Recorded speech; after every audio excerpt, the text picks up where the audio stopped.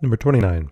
If the potential due to a point charge is 5 times 10 to the 2 volts at a distance of 15 meters, what are the sign and magnitude of the charge? All right. So um, here we have a charge, right?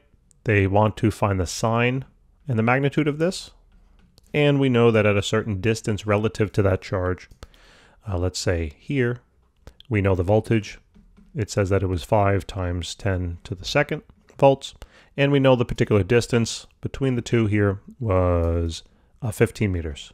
So we know that the formula, that the voltage due to a point charge at a certain point uh, from that point charge is equal to the electrostatic constant K multiplied by the charge itself divided by the radius, or aka the distance, between the charge and the voltage. Check out number 25, I went into a little more detail about it. So um, what we realize here is that in order to find the sign and the char, uh, the sign and the magnitude of Q, well, we first got to solve for Q, right? So watch, just bring the R across on up, bring the K on down, bada bing, bada boom, there we go. That's what cross multiplication is all about.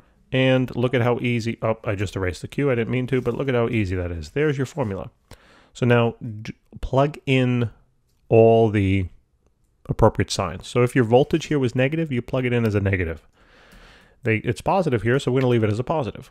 So the radius was 15 meters, the voltage was a positive 5 times 10 to the 2, and then divided by the electrostatic constant K, which is 9 times 10 to the 9. That'll equal our Q, and that is then going to simply be plugged into the calculator. So 15 times 5 times 10 to the uh, second, then all divided by 9 times 10 to the ninth. And it works out to be about 8.33. 8.33 times 10 to the minus 7th coulombs and it's positive. Why? Because the voltage was positive. Again, if it were negative, this would have worked out to be negative, and then you would have been dealing with a negative charge. It's literally that simple. Guys, thank you so very much for tuning in. I appreciate it. Please help us out by subscribing, hitting the like button, and even maybe telling some of your classmates. All right, we appreciate it. Thank you. Thank you, thank you, thank you.